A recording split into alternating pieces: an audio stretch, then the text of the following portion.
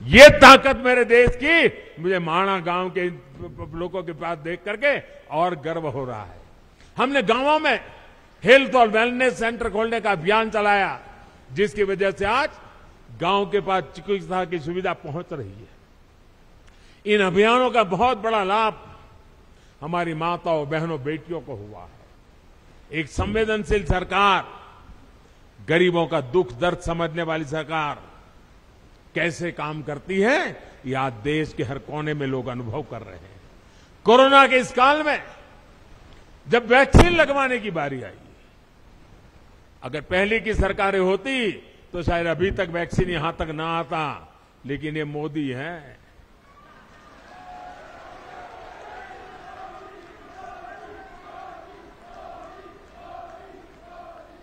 मैंने कहा, कोरोना जाए, उसकी ज़्यादा तेज़ी से मुझे वैक्सीन पहाड़ों में ले जानी है और मैं सरकार को बधाई देता हूँ।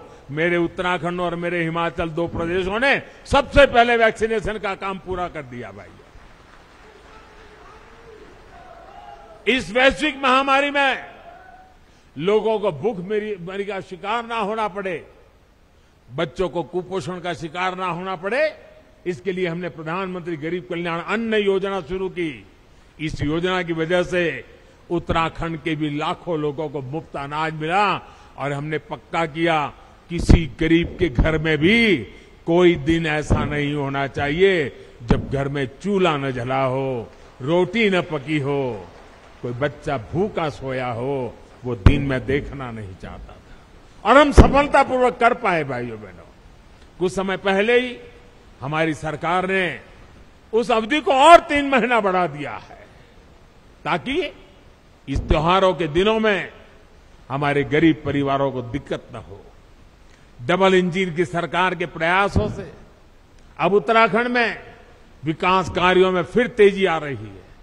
जो लोग घर से पलायन करके चले गए थे, अब अपने पुराने घरों में लौटने लगे हैं। होम स्टे, गेस्ट हाउस, ढाबों छोटी छोटी दुकानों में अब रौनक बढ़ने लगी है। इन सुविधाओं से उत्तराखंड में पर्यटन का हो रहा है विस्तार, यहाँ के विकास को भी गति देने वाला है। मुझे खुशी है कि डबल इंजन की सरकार यहाँ के युवाओं को होम स्टे की सुविधा बढ़ाने के लिए, युवाओं के स्किल डेवलपमेंट के लिए निरंतर आर्थिक मदद दे रही है। सीमावर्ती क्षेत्रों से युवाओं को एनसीसी से जोड़ने का अभियान भी यहाँ के युवाओं के उज्जवल भविष्य के लिए तैयार हो रहा है। पूरे देश में सीमावर्ती क्षेत्र में जो अच्छी स्कूल होगी, अब एनसीसी हम वहाँ चलाएँगे। अहमदाबाद, मुंबई, चेन्नई, वहाँ एनसीसी पचहत्तर साल चली। अब एनसीसी चलेगी इन गाँवों में। मेरे गाँव के बच्चों को मिलेगा लाभ।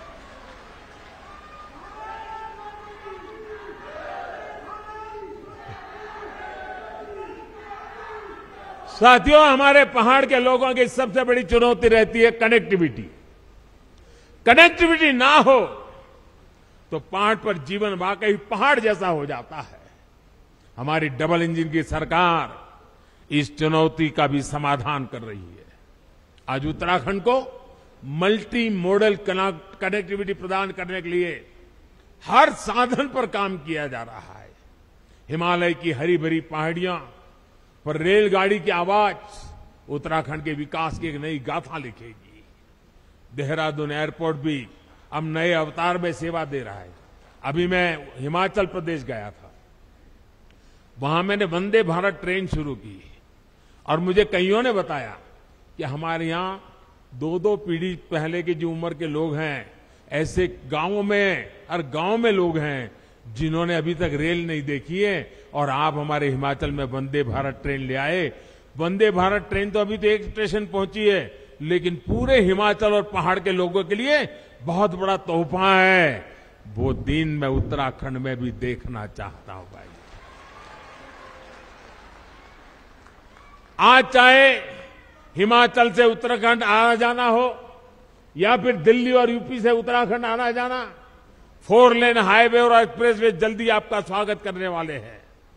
Char Dham all weather road, Uttarakhand के लोगों के साथ साथ पर्यटकों और श्रद्धालुओं को एक नया एहसास दे रहे हैं। अब हर कोई पर्यटक जो दूसरे राज्यों से उत्तराखंड आ रहा है, वो यहाँ से यात्रा का अद्भुत अनुभव लेकर जाता है। दिल्ली, देहरादून इकोनॉमिक कॉरिडोर से, दिल्ली, देहरादून की दूरी तो कम होगी इससे उत्तराखंड के उद्योगों को भी बढ़ावा मिलेगा।